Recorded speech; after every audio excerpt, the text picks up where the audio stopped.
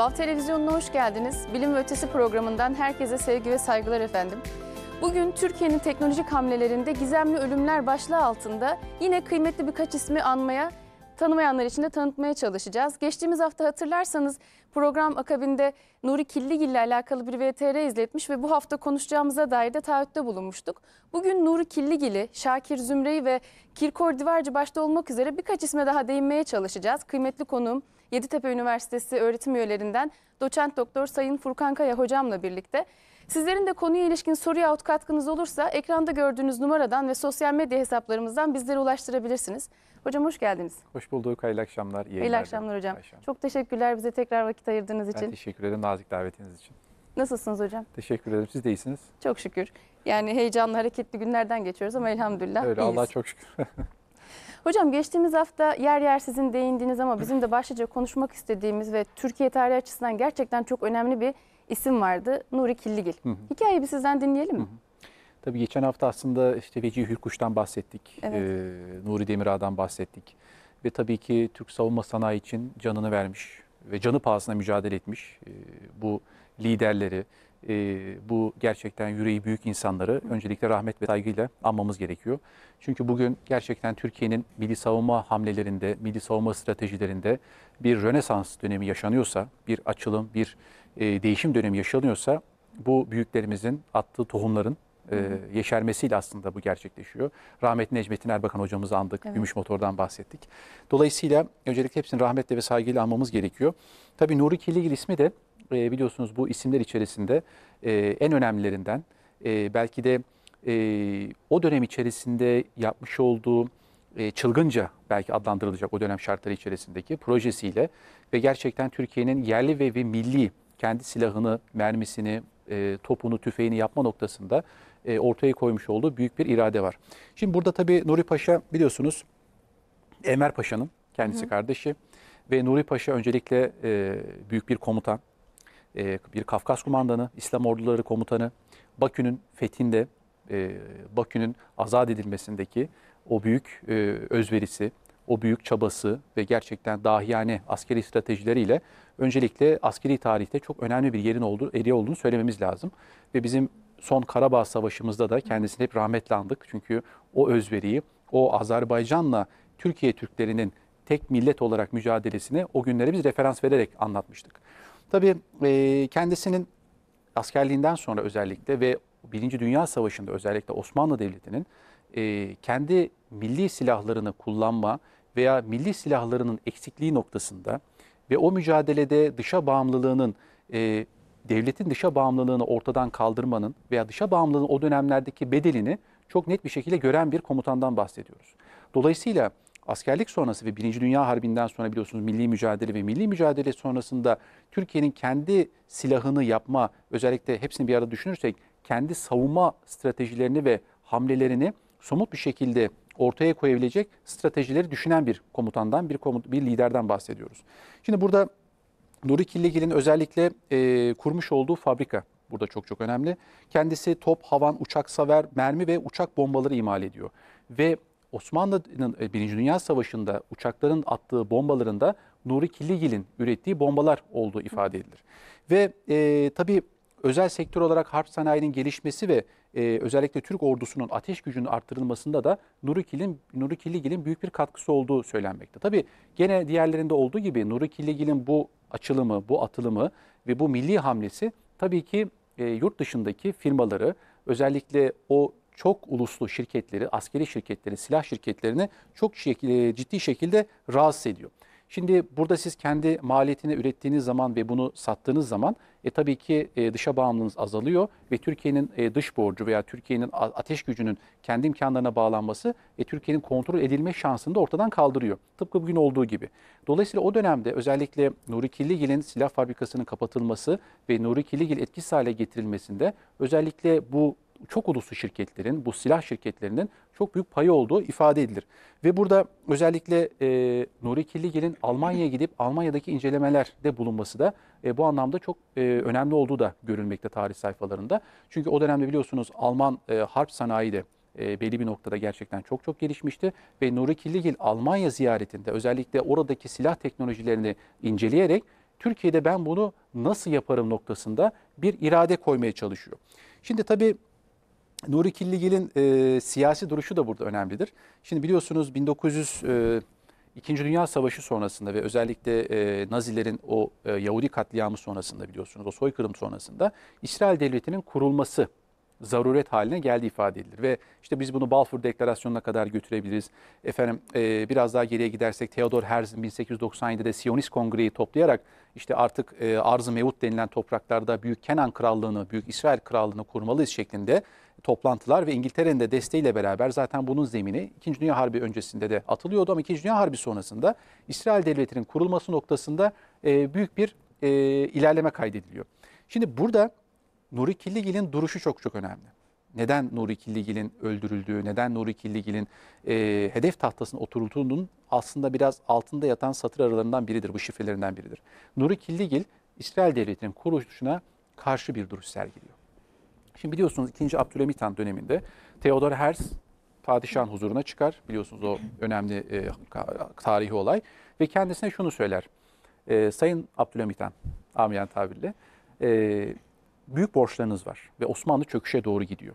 Ama biz size yardım edebiliriz. Yeter ki bize Filistin toprakları üzerinde bir devlet kuracağımız kadar bir toprak verin. Ve o toprak karşılığında biz bütün Osmanlı borçlarını silelim. Ve Sultan Abdülhamit o meşhur tarihi cevabını verir. Kanla sulanmış, şehit kanıyla sulanmış topraklar ancak şehit kanıyla verilebilir şeklinde tarihi bir söz söyler ve Theodor Herzl e, hiçbir şey alamadan padişahın huzurundan ayrılır.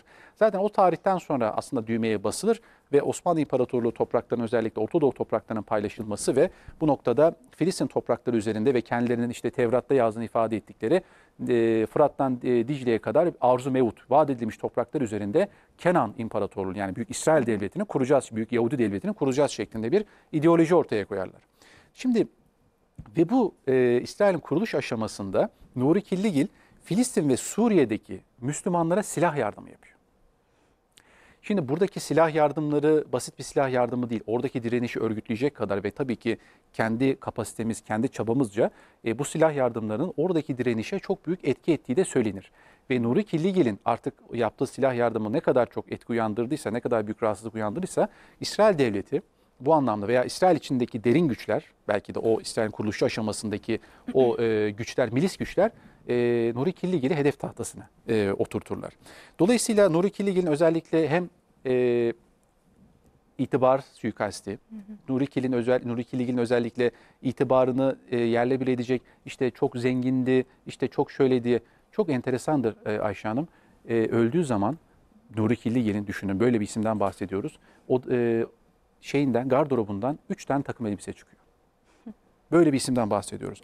Mütevazi yaşıyor ve fabrikasındaki işçilerin maaşını ödemediği zaman, ödeyemediği zaman kredi çekip veya cebindeki son kuruşa kadar da onların e, emeklerini zayi etmeyecek, boşa çıkarmayacak şekilde ödemelerini yapıyor. Böyle bir isimden bahsediyoruz. Şimdi burada e, şu da çok önemli, o notlarını aldım. Nuri Killigil'in fabrikasını biliyorsunuz havaya uçurulmadan önce, bunu bence tarihe not düşmek gerekir hazır bekleyen 2000 tane havan mermisi ve birçok mühimmatla beraber Suriye hükümetiyle beraber Pakistan'ın da e, silah siparişi ve mermi siparişi, havan topu siparişi olduğu ifade edilir. Yani o dönemde e, saldırının olduğu, o patlamanın olduğu dönemde fabrikadaki havan topları ve silahlar ve mermiler eğer Suriye'ye ulaştırılsaydı ve Filistin'e ulaştırılsaydı orada e, İsrail'e karşı büyük bir direnişin e, olabileceği yani silahlı ateş gücü olarak belki de daha üst seviyeye çıkabilecekleri ifade edilir. Ve e, tabii kendisi tabii patlamayla aslında şöyle söylememiz lazım. E, bu mühimmat deposu mühimmat deposuna zaten bir saldırı yapılıyor ve o saldırı yapıldığı zaman tabii bunu belki komplo teorisi olarak değerlendirebilir ama bunlar önemli, önemli detaylardır. E, 27 Türk işçisi hayatını kaybediyor patlamada. Ne hikmetse fabrikada çalışan 30 Yahudi o gün işe gelmiyor. Ve işe gelmediği için de 30 kadar o e, tarihte çalışan, o fabrikada çalışan Yahudi hayatını kaybetmiyor. Şimdi bu biliyorsunuz e, Dünya Ticaret Merkezi saldırısında da o İkiz Kuleler saldırısında da böyle bir teori ortaya konmuştu. E, o saldırı o başka mesele ama hı hı. böyle bir şeyin gerçekliğini ve daha sonraki dönemlerde de bu tip benzer olayların yaşandığını da hep birlikte biliyoruz. Dolayısıyla Nuri Killigil'in özellikle e, silah ve savunma sanayinde ortaya koymuş olduğu irade özellikle İsrail'i rahatsız ettiğini çünkü İsrail'in kuruluşundan sonra başlayan direnişin Nuri Killigil'in silah ateş gücü e, desteğiyle beraber orada önemli bir direniş e, veya bir e, karşı saldırının da olabileceği ihtimalini ortaya çıkarıyor. Mesela Samet Ağoğlu'nun hatıralarında Nuri Paşa ile ilgili çok önemli bir cümle var. Şimdi şöyle söylüyor Samet Ağoğlu. E, Nuri Paşa ölmeden evvel yani saldırı yapılmadan evvel 4 gün önce kendisiyle rastlaştım. Kendisini Ankara İş Bankası'nın önünde gördüm. Yorgun bir hali vardı. Sebebini sordum. Şöyle söylüyor. Bilemezsin nasıl zorluklarla karşı karşıyayım. Ve devam ediyor. Hepsi sanki el ele vermişler. Bütün hasım kuvvetler muvaffak olamayacaksın. Feryadıyla karşımda dimdik duruyorlar. İçim isyan dolu. Şimdi siz zaten e, dışarıdan zaten bir baskı var ama Nuri Killigil'e özellikle içeriden de ciddi bir baskı var. Yani Nuri Killigil'in bu hamleleri özellikle içeriden de bazı e, belki beşinci kolu rahatsız ettiğini söyleyebiliriz. Belki gayrimilli unsurları rahatsız ettiğini söyleyebiliriz. Çünkü ne hikmetse e, Nuri Killigil şehit edildikten yaklaşık e, bir hafta sonra yanlış hatırlamıyorsam Türkiye İsrail'i tanıyan ilk Müslüman devlet oluyor. Şimdi bu tip şeyler önemlidir. Yani e, tabii bunu kesin böyledir demek akademi açısından doğru değildir. Çünkü bir resmi bir belgesi yok bunun, resmi kanıtı yok. Ama bazı yapboz parçalarını bir araya getirdiğiniz zaman demek ki e, bazı yerler rahatsız oluyor. Şimdi bunda benzer aslında ben günümüzün çok yakın e, tarih zamanlarından bir gelişme var. Bunu da söylememiz lazım. Hatırlarsınız Aselsan mühendislerimiz arka arkaya şehit edildiler diyeceğim ben. Gerçekten e, o bir 2007 senesiydi yanlış hatırlamıyorsam. E, mühendislerimiz arka arkaya işte şöyle tabii birisi intihar etmiş süsü verildi bir evinde. Biri arabasında kafasına kurşun sıkılmış olarak e, bulundu. Ve Pek çoğu hocam intihar süs. Yani ben Evet. bir makalede okumuştum. Yaklaşık 9-10 isim vardı ve inanın bana 7 tanesi intihar diye yazılmıştı evet, haberlerde. Evet, evet, evet. Ve, ve mesela bazısında da işte hatıralarının notlarında da e, bir önce arkadaşının öldürüldüğünü biliyor ve ağır e, psikolojik bunalım içindeyim, ağır tehditler alıyorum gibi ve ondan kısa bir süre sonra, kısa bir süre sonra e, böyle bir suikast e, gerçekleştiriliyor. Ve yanlış hatırlamıyorsam Sayın Selçuk Bayraktar'ın kuzeni de aynı şekilde Evet. böyle bir e, menfur saldırıyla, bir terör saldırısı, bir suikastle aynı şekilde hani bu insanlar milli mücadele, hakikaten milli savunma teknolojisinde bir devlet görevi, onlar da şehit edildi. Onlar da hayatı kaybet, e, öldürüldü. Dolayısıyla Türkiye'nin bu anlamda demek ki bazı noktaları rahatsız eden bir durumu var. Ama şu anda karşılaştırdığımız zaman işte Türkiye'nin nereden nereye geldiği de ortaya çıkıyor. Mesela buna benzer yine bir örnek vermek gerekirse madem konu açıldı.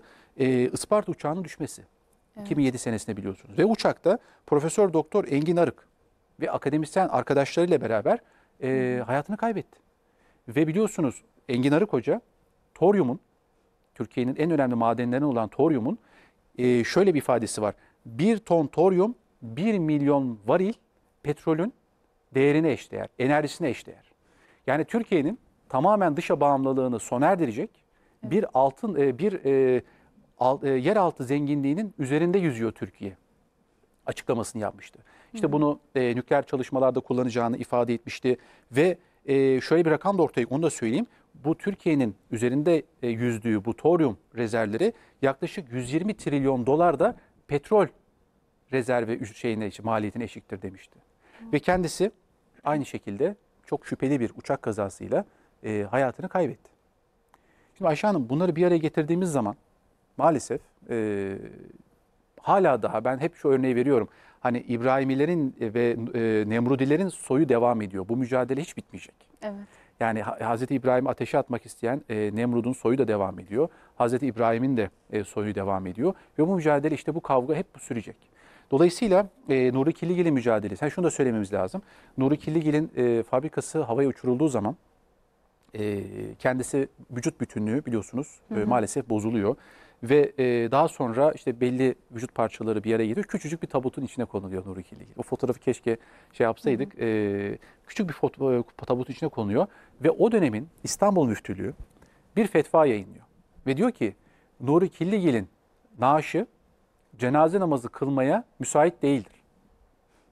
Ve Nuri Killigil'in, bu büyük paşanın, bu büyük kumandanın, bu büyük dahinin e, cenaze namazı kılınmıyor. Bu çok acıdır. Bu çok bizim için aslında bir kara lekedir.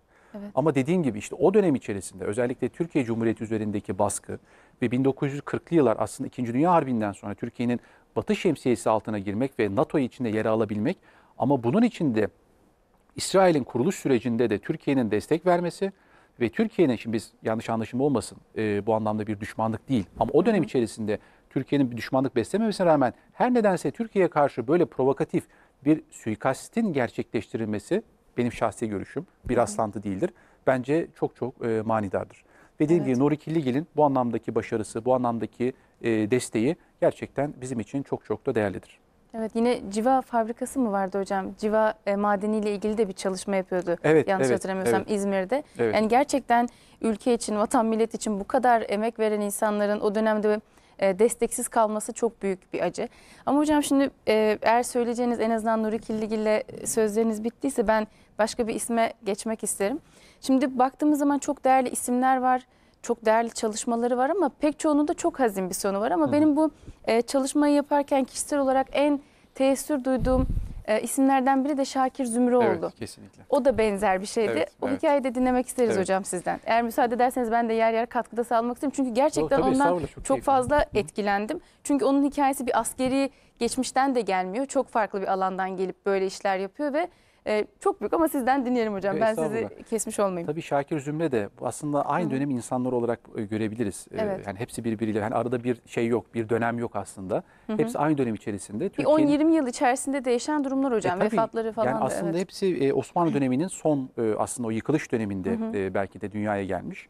Ve milli mücadele içerisindeki o yoklukları ve o dışa bağımlılığın getirmiş olduğu acıyı ve maalesef Osmanlı İmparatorluğu'nun o anlamda hani askeri anlamda Rönesans'ı yakalayamaması, teknolojisini geliştirememesi sebebiyle maalesef bu e, artık ne diyeyim eksikliği hissedip ama ne kadar az zamanda biz bu eksikliği tamamlarız şeklinde bir irade koyan insanlardan bahsediyoruz. Şimdi Şakir Zümre de 1895 yılında yani her ne işte o Enver Paşa, Mustafa Kemal Atatürk o dönemlerde aslında yakın dönemler dünyaya Varna'da gelmiş ve üniversiteyi Cenevre'de hukuk fakültesinde bitirmiş ve başarıyla aslında dereceyle bitirmiş bir isimden bahsediyoruz.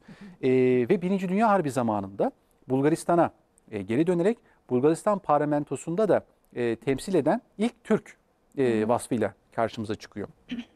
Şimdi burada e, İstiklal Harbi'ndeki özellikle mücadelesi ve İstiklal Harbi'nde özellikle Türkiye'nin kullanacağı e, mühimmat noktasında da bir e, irade ve bir gelişim ortaya koyuyor. Şimdi burada tabii ki e, fabrikayı kurduktan sonra ve milli mücadele döneminde Bulgaristan'dan e, Türkiye'ye özellikle milli mücadele özel işte e, Kuvayi Milliye'nin olduğu noktalarda ve tabii ki savaşın olduğu yerlerde de mühimmat gönderme noktasında gizli bir şekilde ve oradaki istihbarat ağını da aslında çok e, sağlıklı bir şekilde kurarak buradaki silahların o bölgeye gönderilmesinde de büyük bir başarı ortaya koyuyor. Ve Türkiye Büyük Millet Meclisi'nin açıldıktan sonra kendisine e, üstün nişan, madalya takdim ediliyor Şakir Zümre'nin. Şimdi burada tabii ki e, Türk savunma sanayine özellikle bombalar noktasında çok büyük katkı sağladığı ortaya konuyor.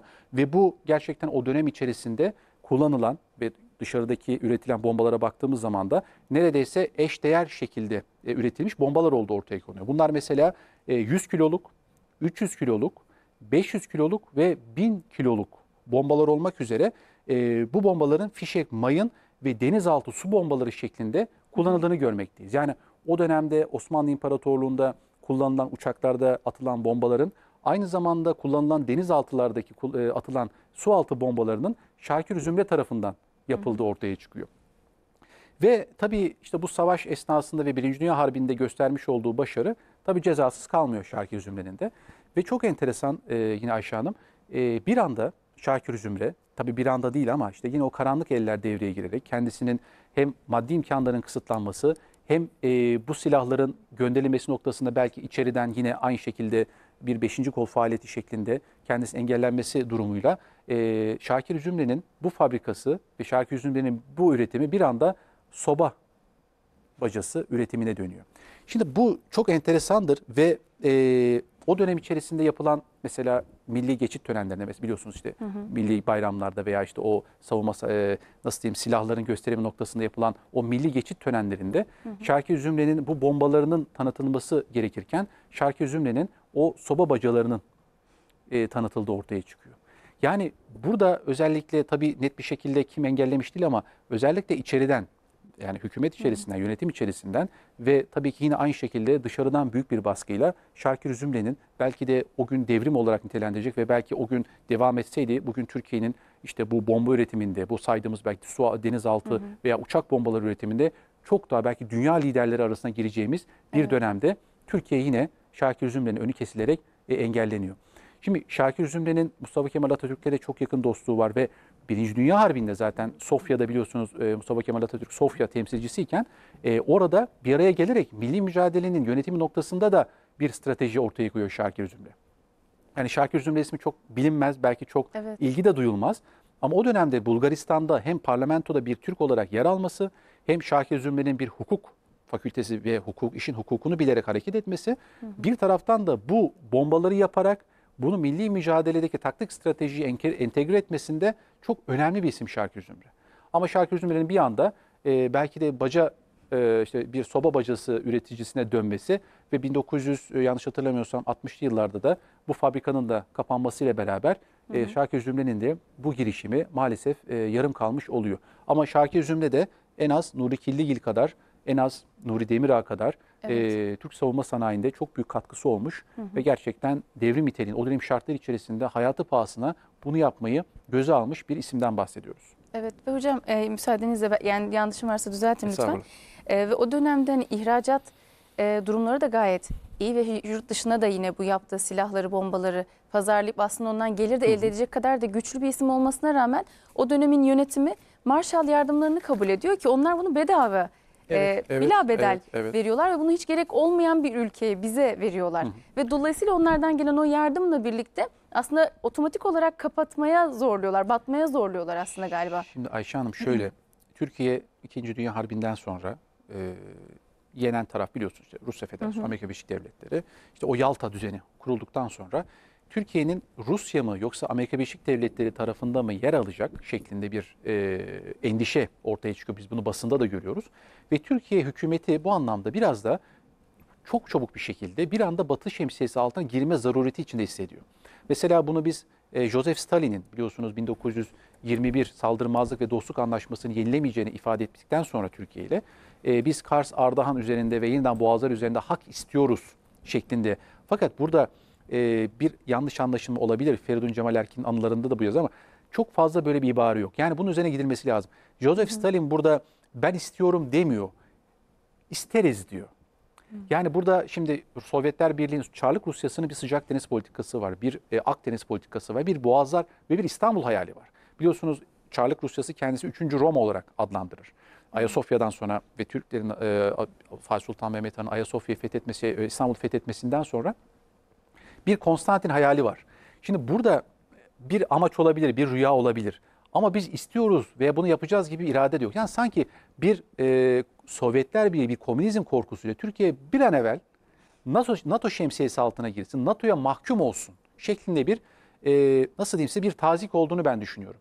Çünkü o dönemde işte e, biliyorsunuz 1946-47 Marshall Yardım ve Truman Doktriniyle beraber tabii Türkiye e, zaten milli mücadelesini yeni bitirmiş. Türkiye'nin tabii ki elindeki silahlar, elindeki savunma teknolojisi e, o dönemin e, o dönem büyük devletlerin kullandığından daha geride kalmış. E, Türkiye endüstrileşmeye çalışıyor, üçü- Türkiye sanayileşmeye çalışıyor.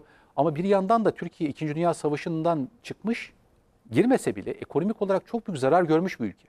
İşte biliyorsunuz varlık vergisi dönemlerini, bu kara borsa enflasyon dönemlerini, işte e, zaten biliyorsunuz hani e, 1 milyona yakın asker silah altına alınmış. E, genç nüfusunuzu siz ve gerçekten kalem tutan nüfusunuzu milli mücadelede kaybetmişsiniz. Türkiye bir yeniden varoluşsal mücadele veriyor. Bu dönemde Türkiye bu anlamda belki sabretseydi veya daha denge bir politikası uygulasaydı belki o Marshall yardımlarıyla Türkiye'ye gönderilen silahlar ve Türkiye'nin daha sonra 49'da NATO üyesi olmasıyla beraber Türk askerinin alınarak Amerika Birleşik Devletleri'nde eğitime bir NATO eğitimi altına alınması ve orada e, ben tabii Türk darbeler tarihinde de bu emareleri görüyorum. Oradaki NATO subayı olmaları vesilesiyle özel harp daireleri üzerinde Türk siyasetini dizayn etmeye çalıştılar. 27 Mayıs, 12 Mart, 12 Eylül, 28 Şubat, 15 Temmuz. Evet. Yani bunlar değişmedi. Dolayısıyla burada maalesef sizin de ifade etmiş olduğunuz gibi Marshall yardımlarıyla Türkiye'ye binlerce traktör, Türkiye'ye binlerce silah, Türkiye'ye binlerce biçer döver, süt tozları. Hani geçen programda bahsettik ya Evet. bir Amerikan sanki Amerikan e, malzemeleri kullanmadan kalkınamayacakmışız gibi bir durum ortaya çıkarıldı. Ve işte bunu da aynı şekilde kendi savunma sanayimizde de maalesef e, görüyoruz. Biz o milli mücadele döneminde Anadolu kendi imkanlarıyla mermi üretti mi? Üretti. Türkiye Sovyetler Birliği'nden ciddi miktarda silah aldı mı? Aldı. E, Müslüman dünyasından Türkiye'ye silah ve para yardımı geldi mi? Geldi.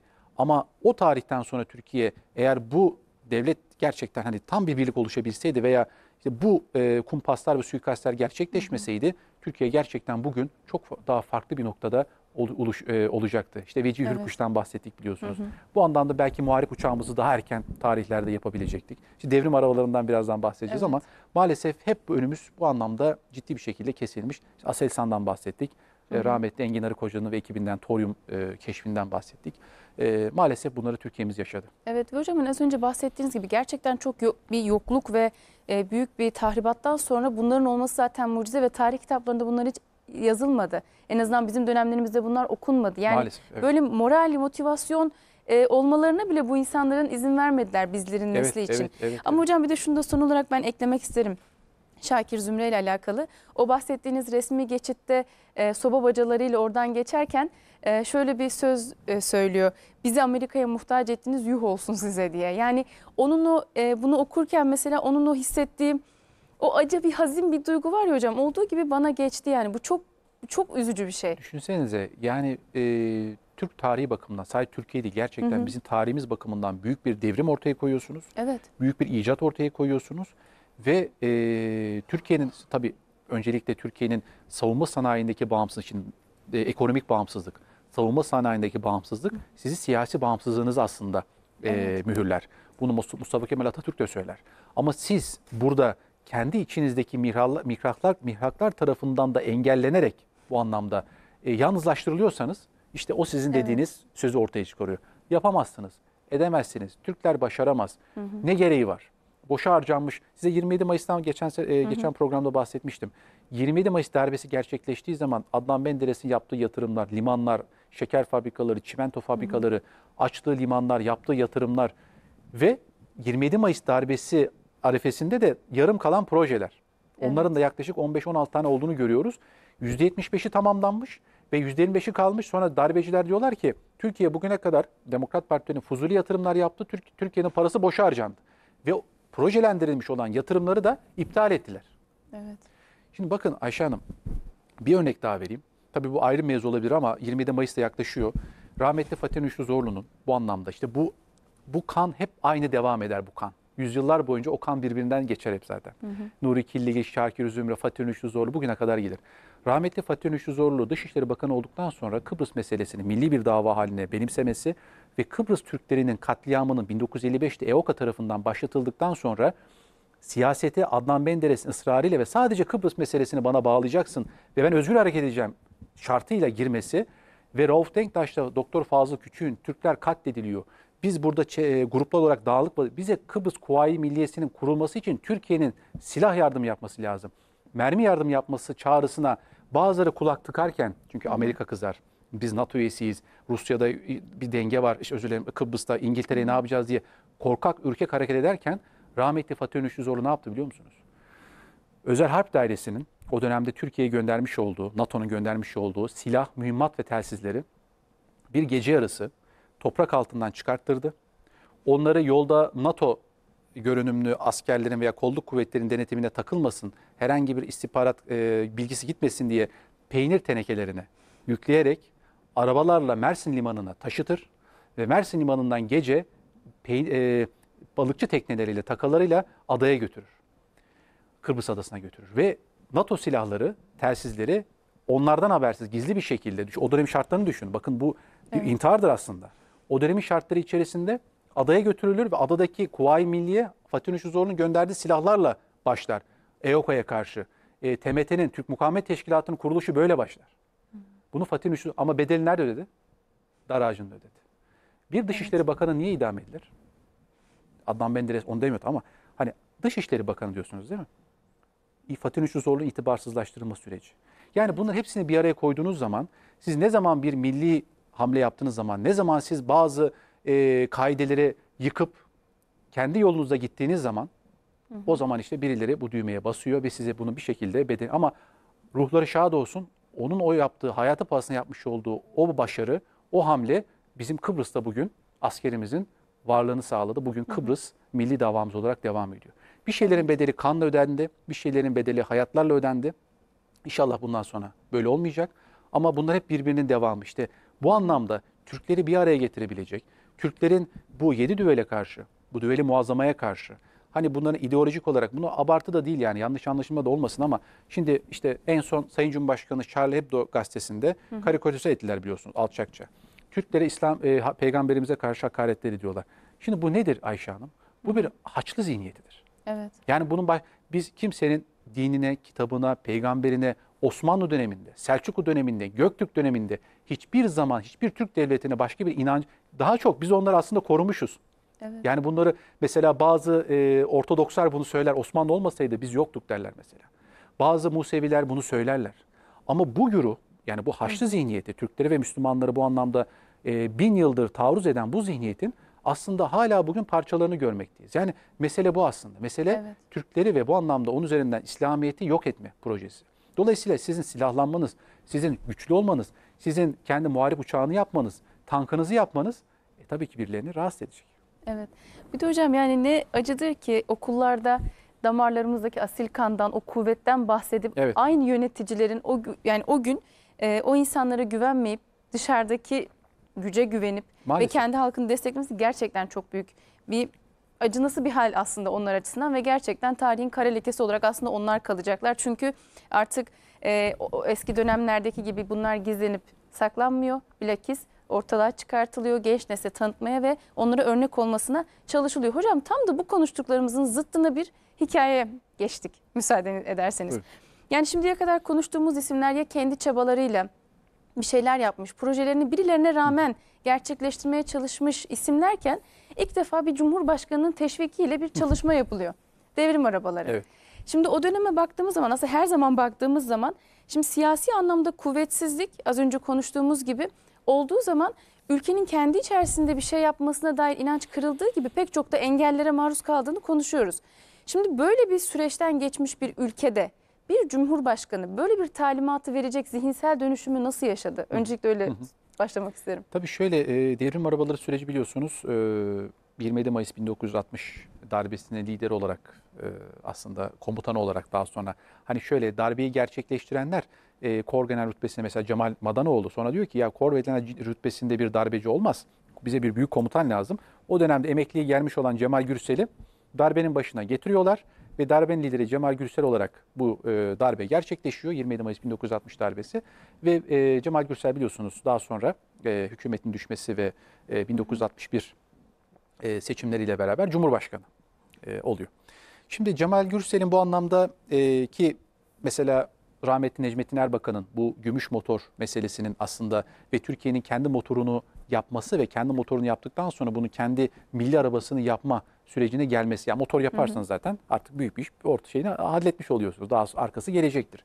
Bu noktada Cemal Gürsel e, 1961 yılında Otomotiv Endüstrisi Kongresi sonrasında orada bulunan iş adamlarına, gazetecilere ve bürokratlara bir ülkenin kalkınması için ne gereklidir sorusunu soruyor. Tabii bahsediyor şeker fabrikası, işte o dönem çimento fabrikası işte baş ve o diyorlar ki Türkiye bir iğne iplik üretemez, e, üretemez. Türkiye zaten e, milli mücadelesini verdi ama bu saatten sonra hani kendi kalkınma hamlesini yapana kadar o mümkün değil. Dışarı bağımlı bir ülke haline olarak devam edecek ve bu e, ebediyen böyle sürecek. Zaten siz artık Türkiye'yi biz e, fiziki olarak işgal edemeyiz. Ama ekonomik olarak işgal edebiliriz belki. Dışa bağımlarsak zaten bizim güdümümüzde girer şeklinde bir e, anlayış ortaya koyuyor. Ve bunlar konuşulurken e, mesele araba üretimine, otomobil üretimine geliyor. Ve o dönemde biliyorsunuz işte Amerikan arabalarının e, çok önemli bir şekilde işte PR'ının yapıldığını ve dünyada bir Amerikan hayranlığının olduğundan zaten bahsetmiştik. Ama Cemal Gürsel de Türkiye kendi milli arabasını neden yapamasın şeklinde hatta sinirlenerek e, buna karşı çıkanları e, azarladığı ifade edilir. Türkiye kendi arabasını elbet bir gün yapacaktır der. Ve o dönem tabii Cumhuriyet Bayramı'nda çok az bir süre var yaklaşık 3 ay kadar yanlış hatırlamıyorsam veya 4 ay kadar bir süre var. E, Cumhuriyet Bayramı'na kadar bir araba üreteceksiniz diyor. Tabii insanlar şaşırıyor hani Cumhuriyet Bayramı dediğiniz işte 4 ay var, 3,5-4 ay var efendim nasıl yapacağız bu işi? Emrim bakidir diyor, yapacaksınız. Ve Gündüz Serter ismi çok çok önemlidir. Özellikle e, kendisinin hem e, teknolojik olarak hem de makine ve motor yapımı konusunda da aslında büyük bir tecrübesi, bir mühendis kendisi, önemli bir mühendis. Tecrübesinden faydalanarak bir ekip kurması istenir ve e, yaklaşık işte 110-120 gün kadar ya da 130 gün kadar içerisinde devrim arabasının yapılması süreci e, Eskişehir'de e, kurulan atölyede gerçekleşmeye başlar. Şimdi buradaki atölyede çalışan mühendislere baktığınız zaman daha çok e, işte tren yapımında ve vagon yapımında ve tren teknolojisi üzerine aslında e, uzmanlaşmış isimler olduğu ortaya çıkılır. Ve gerçekten e, yoklukla bu projenin başladığını görmekteyiz. Hani devlet size milyarlarca para verip işte sana veya işte istediğin kadar fon, istediğin kadar yeter ki bunu yap da demiyor. Devletin zaten imkanları ortada. Evet. E bir de bu söz çıkar çıkmaz yine her nedense medyada ve bürokrasi çevresinde tepkiler ortaya çıkıyor. Yani Ayşe Hanım ben şunu anlamıyorum. Mesela şimdi e, şu anda biz kendi aramızda tartışabiliriz. E, bir teknoloji üzerinde imkansız ama işte dersiniz ki ya bir deneyelim. Olmazsa da kaybedecek bir şeyimiz yok. Ama daha projelendirmeden, daha hani bismillah demeden herkes ayağa kalkıyor. Yapamazsınız. Beceremezsiniz. Türkiye bunu yapamaz. Türkiye şu an neye yaptı ki bunu yapacak şeklinde. Ki neler yapmış yani hadi biz de- görmedik siz de mi görmediniz o dönemde? Yani bir de o da var yani. Hani geçmişte yapılanlar da zaten ortada işte bahsediyoruz Evet. birkaç tanesinden. Böyle bir muhalefet e, ortaya çıkıyor. Her gün olumsuz haberler, işte pahalı, lüzumsuz, işte e, devletin parası çarçur ediliyor, başka şeylere yatırılabilir.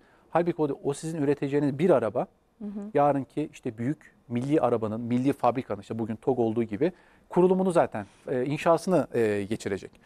Ve 28 Ekim akşamına kadar bu araba imal ediliyor. Geceli gündüzü çalışıyorlar aşağı. Evet. Aç susuz çalışıyorlar. Bazen işte anahtarlar tabiri caizse atılıyor. Yapamayacağız, beceremeyeceğiz şeklinde. Ama Gündüz Serter Bey'in Allah rahmet eylesin çok büyük motivasyonuyla o mühendisleri hani motive etmesiyle hani üretsek de ne olacak? Yani şöyle e, Ayşe Hanım bu milli mücadelede de Türklere karşı yapıldı. Bir ezilmişlik duygusu içine sokmak. Yani bakın bizim tarihimizde Türkleri hiçbir başka millet güdümüne sokamamıştır. Baksınlar biz kendi kendimizi yıkmışız. Kendi kendimizi bölmüşüz. Kendi kendimizi imha etmişiz ve yeniden doğmuşuz. Ama hiçbir zaman tarih hiçbir e, noktasında bir başka e, milletin güdümünde, otoritesinde, mandasında, sömürgesinde olmamış bir milletiz. Ama her nedense bizim psikolojimize yapamazsın, edemezsin ve Allah'tan her dönem bir dahi bir kahraman çıkmış ki da biz yine o ölü toprağın üzerimizden atmışız. Tabii ki. Ve 28 Ekim, gecesi e, biri 5, biri siyah olmak üzere iki adet devrim arabası. ismi de zaten şey devrim. E, burada tabii işte söylentiler şöyle işte devrim hem işte Türk sanayinde bir devrim olarak adlandırılması hem de 27 Mayıs askeri darbesine bir devrim de o zaman ihtilalde deniyor. Ona da e, atıfta bulunarak bir e, biliyorsunuz e, uzun yıllar 27 Mayıs bayram olarak kutlandı bu memlekette. Askeri darbeyi 20 hatta o resimler var bende böyle 27 Mayıs çelenkleriyle sanki Cumhuriyet Bayramı'mış gibi o darbeyi kutlattılar bu insan, e, bizim milletimize. Hani milletimiz tabii darbeci kutlamadılar ama görüntü olarak bir milli bayram olarak e, ortaya kondu.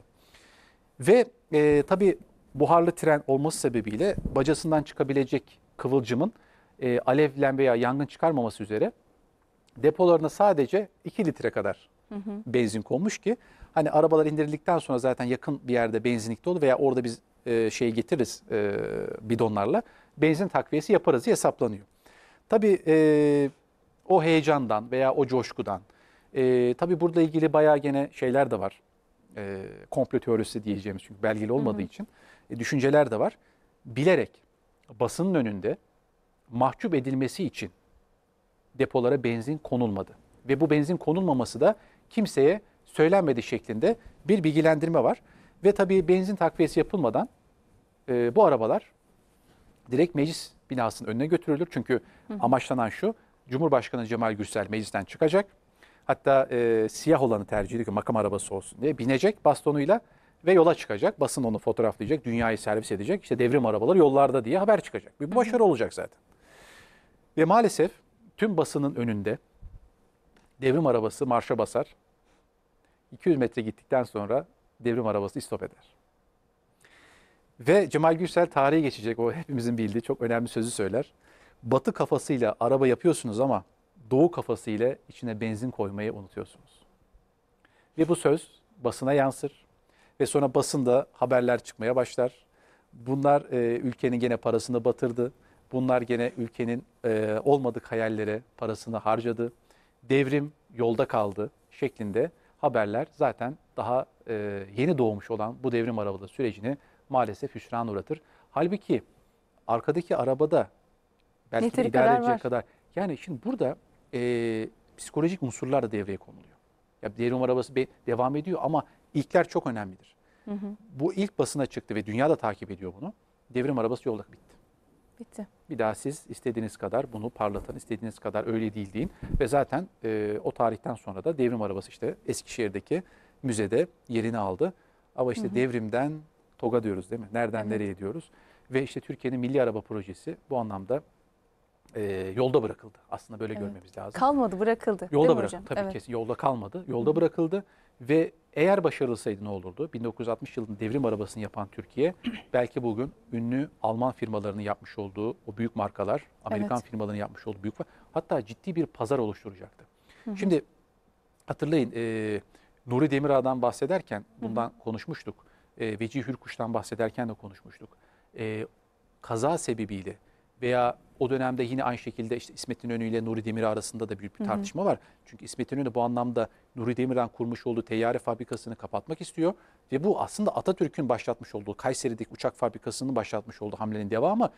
E, uçak düşmesi sebebiyle biliyorsunuz hayatını kaybetmesiyle beraber mühendisinin e, açılan hendeğin kim tarafından açıldığı, o kazanın nasıl tertiplendiği ve kaza olmuş olabilir. Ama kazanın hemen arkasından e, bütün siparişlerin iptal edilmesi, bütün yeni projelerin durdurulması artı üretilen uçakların da e, hurdaya ayrılması. Şimdi bunların hiçbirinin ben iyi niyetli olduğunu Ve, ve tesadüf olduğunu. milli olduğunu düşünmüyorum. Dediğim Evet. gibi bunlar işte bir bütün olarak değerlendiğimiz zaman devrim arabasının yolda bırakılması da işte 1961'den 2022'ye diyelim e, biraz geciktirmiş. Belki bir 60-70 sene kadar geciktirmiş, 60 sene kadar geciktirmiş. Ama TOG'un önüne de biliyorsunuz birçok engeller konuldu. İşte Türkiye bu arabanın milli olmadığından bahsedildi. Bu arabanın işte parçaları başka bir yerden geldi dendi. Öyle dendi, böyle dendi. Yani Ayşe Hanım yanlış anlamayın. Şimdi, şimdi hepimizin akrabası sevdik. Siz sevdiklerinizin kusurlarını sürekli anlatır mısınız yoksa onu bir şekilde e, Örter kapı misiniz? örter misiniz? Ya da telafisine mi çalışırsınız? yapar mısınız? Aynen bir kusur Hı hı. varsa da bunu kendi içinizde halledersiniz. Bizim maalesef içimizdeki bazı insanlar o kadar çok kusur anlatmayı seviyor ki, o kadar çok e, kusur bulmayı seviyor ki, o kadar çok bir anda yakıp yıkmayı, karalamayı seviyor ki. Yani bunu anlamak da çok çok zor. E, ve bunun kendi basınımızda e, ses vermesi ve bunu siyasi malzeme olarak kullanılması. En azından siyaset yaparken insanların, milletimizin kendi milli projelerine sahip çıkması gerekiyor. Evet. Ne olursa olsun işte e, e, Kızıl Elma'dan, ne olursa olsun Altay tankından, ne olursa olsun TOG'dan, ne olursa olsun bizim işte e, TCG Anadolu'muzdan. Ya bunu diyor, uçak gemisi, bu diyor, uçak uçak gemisi değil o. SİHA gemisi. Tamam SİHA gemisi. Ne gerek vardı SİHA gemisine? Böyle hantal bir gemiye ihtiyaç var mıydı? Bu yapılana kadar şunlar yapılmaz mıydı? Bakın siz Mavi Vatan'da bugün en büyük kalenizi inşa ettiniz TCG Anadolu'yla. Biz onun değerini Allah göstermesin ama kriz dönem, dönemlerinde göreceğiz. Ee, işte tahliye nokta, e, Allah korusun büyük bir kriz, büyük bir savaş veya bir felaket olduğu zaman biz bu gemiyle insanlarımızı tahliye edeceğiz veya onlara orada yaşam alanları açacağız. Veya tankları, helikopterleri, sihalarımızı bu gemilerle taşıyacağız. Ve Evet. biliyorsun Sayın Cumhurbaşkanı onun daha büyüğünü yapılması noktasında, bir boy büyüğünü yapma noktasında e, talimatını verdi. Yarın belki biz Ronald Reagan gibi büyük uçak gemisini yapacağız. Çin'in bugün yaptığı teknoloji ama bunların hepsi bir başlangıç. Yani siz bu tohumu daha yeşertmeden kurutmaya bakıyorsunuz. Ama tohumun değerini bilmemiz lazım. Önce inanç sonra gayret hocam ama tam da bu noktada Evet. e, devrim arabalarının mühendislerinden bir tanesi o henüz proje başlama aşamasındayken şöyle bir söz söylüyor.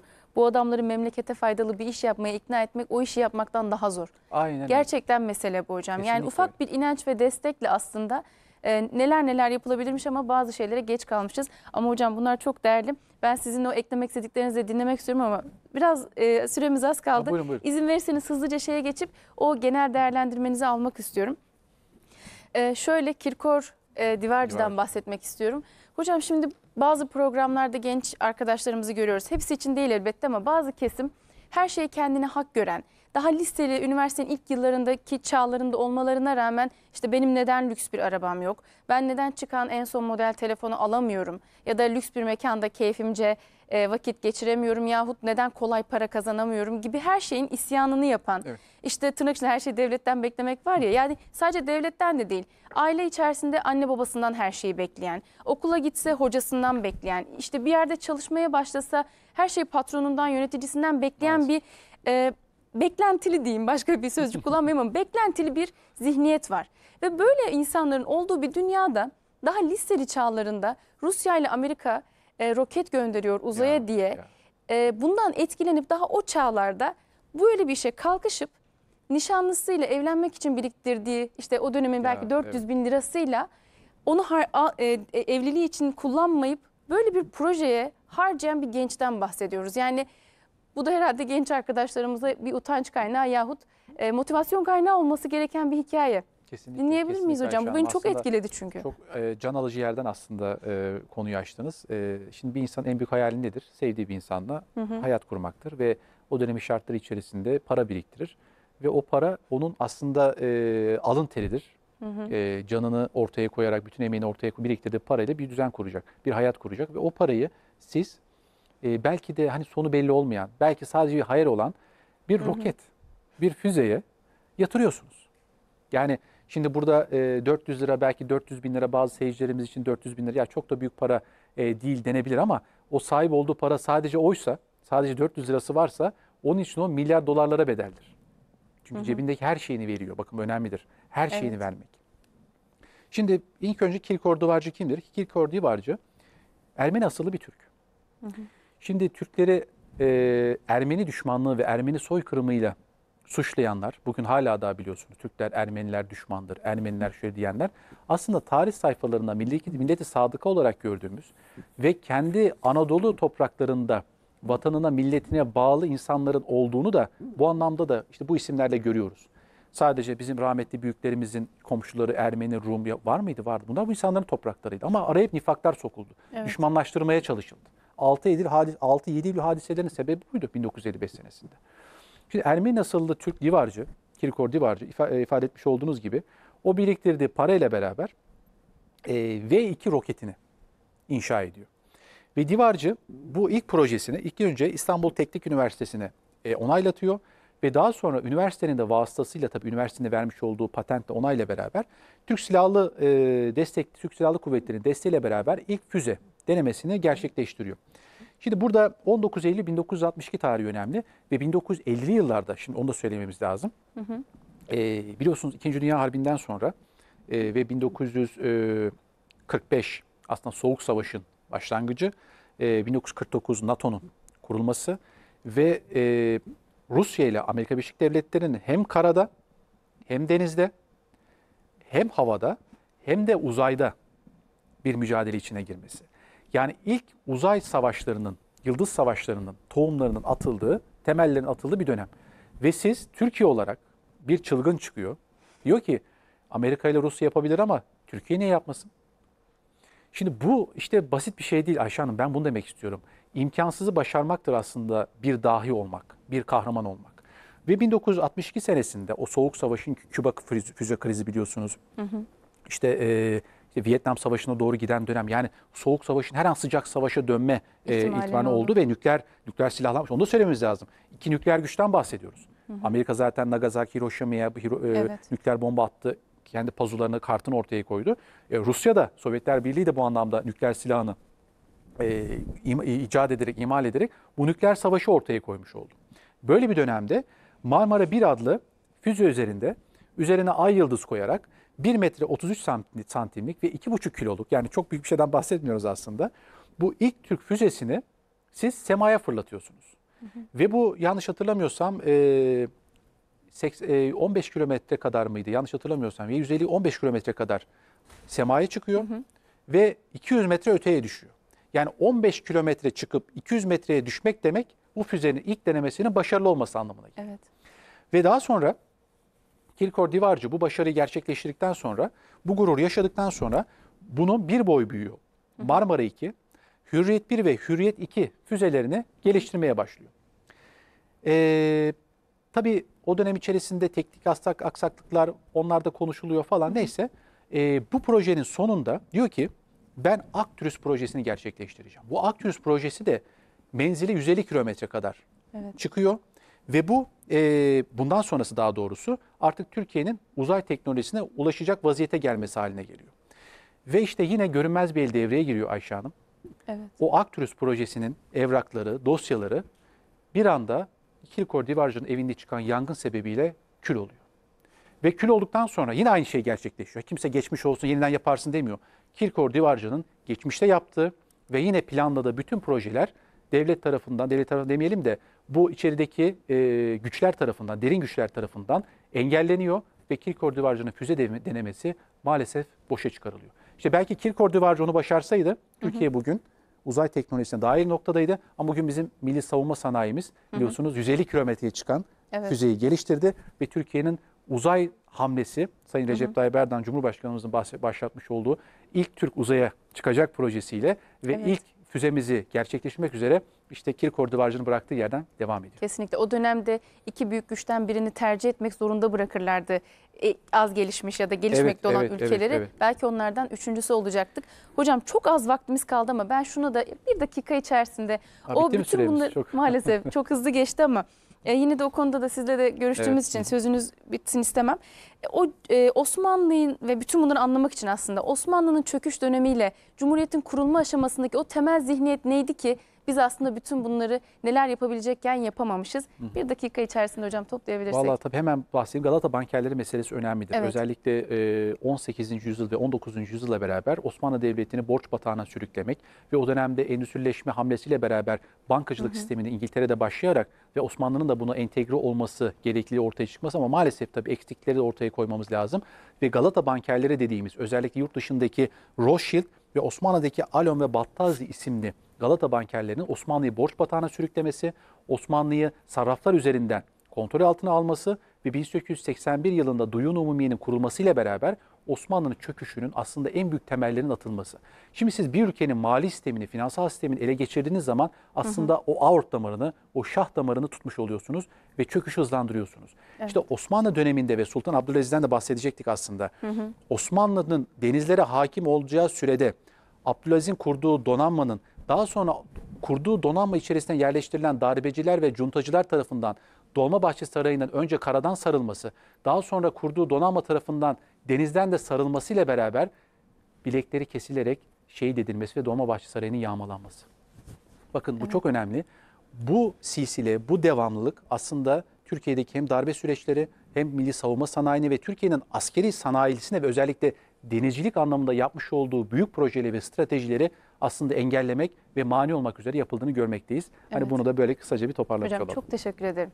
Ben Ayağınıza teşekkür ağzınıza ederim. sağlık. Kıymetli Sağ bilgilerinizi bizimle paylaştığınız için inşallah başka vesilelerle İnşallah, başka programlarda bu yarım kalan sohbetimizi tamamlarız. İnşallah. Sağ. Efendim bugün Türkiye'nin tam bağımsız ve kuvvetli bir şekilde varlığını sürdürebilmesi için e, projeler üreten ve bu uğurda pek çok engellerle mücadele eden ve maalesef e, bedelini de ömürleriyle ödeyen isimlerden bahsetmeye çalıştık. Bilenler için bir hatırlatma, bilmeyenler için tanıtma ve elbette genç arkadaşlar için de örnek teşkil etmesini arzu ettik.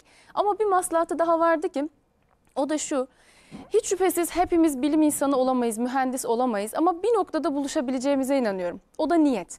Hangi meslek grubundan olursak olalım, ister mühendis, ister doktor, temizlik görevlisi belki, güvenlik görevlisi, polis her ne derseniz deyin. Hepimizin kendi bireysel çıkarlarımızın dışında yahut ay sonunda alacağımız bir ücret mukabili için değil de daha makro düzeylerde niyetler taşıyarak işlerimizi yaparsak bu kıymetli isimlerle aynı zümreden e, sayılabileceğimize ben inanıyorum ki onların da zaten konuşulma sebebi bu işleri yaptıklarından ziyade ne niyetlerle yaptıklarıydı. Onları kıymetli kılan da. O yüzden efendim Allah niyetlerimizi halis, eylemlerimizi de hayırlı eylesin diyoruz. Haftaya aynı gün ve saatte görüşünceye dek Allah'a emanet olun.